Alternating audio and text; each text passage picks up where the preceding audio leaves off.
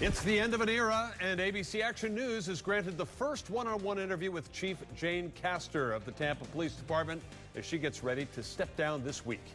Good evening. I'm Brendan McLaughlin. And I'm Linda Hurtado. ABC Action News anchor Sarina Fazan was there the very first day she took the top job six years ago and Sarina Fazan joins us now with a candid conversation with the chief at a time when police departments everywhere are under particular scrutiny. Serena? That's right, Brendan, and that's why even though Jane Castor is stepping down, she says she will be on speed dial to assist the new chief and his team if they need it. Castor tells me today there's not one day that she regrets, but also shares her darkest time, the mistake she's admitting, and her proudest moments. I would say every day is the best day on the job. There is not one day in her 31 year career Jane Castor has not wanted to come to work. From her proudest moments, stemming from a plan she put in place on her first day as chief in 2009. And we want to get everybody involved.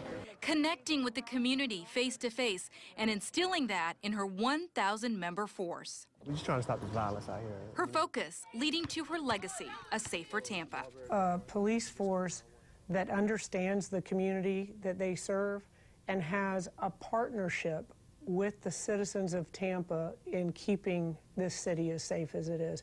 During her six year tenure, crime dropped. Her force also set a nationwide example from a nearly flawless RNC to the unprecedented arrest free Bollywood. But that doesn't mean there weren't dark days, the worst being when she lost two officers, David Curtis and Jeffrey Kocab. There's nothing that can prepare you for that. And uh, you wouldn't wish that on your worst enemy. The extensive manhunt for their killer was also one of the most grueling times in police history. That was a, a couple of weeks worth of stress that probably equal a lifetime in normal people. She also sees the staggering betrayal of one of her own as her biggest mistake. Ray Fernandez with the DUI issue. Mm -hmm.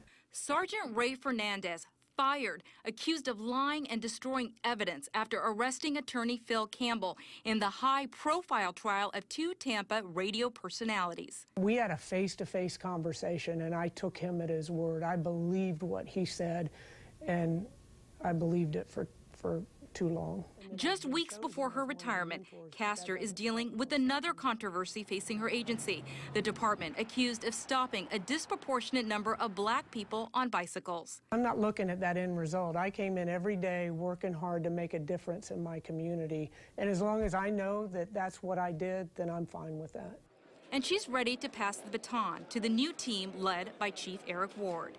And I've been working with them for well over a year now, preparing them for this, this next phase. And now her focus turns to her new foundation, TampaRise.org, the money going to help police balance steep budget cuts because her bottom line, keeping everyone safe. I love this city. Now, the chief won't have any downtime. She is already taking consulting jobs, including assisting troubled police departments around the country. And of course, guys, I asked, is she headed up to Baltimore? And she said no, but she's already talked to that chief and feels that he has a good handle on the situation. But she is going to Cuba on Tuesday with the Chamber of Commerce. She'll probably do a lot of traveling, but you know, she really uh, got national credit mm -hmm. for the RNC in Tampa in 2012. I would imagine Cleveland is going to want to talk to her about their convention coming up in 2016. Brendan, they've already called her to set up really? a meeting. Yes, amazing. She's and you know for 31 years she's been with the Tampa Police Department. Right. That she she didn't have any other job other than that. Despite you were telling me she wanted to be an FBI agent. Right. She wanted to be an FBI agent, and she's turned down a lot of police jobs, even in larger markets than ours. She's a very likable person. Mm -hmm. for sure. Very interesting. Thanks, Sarina.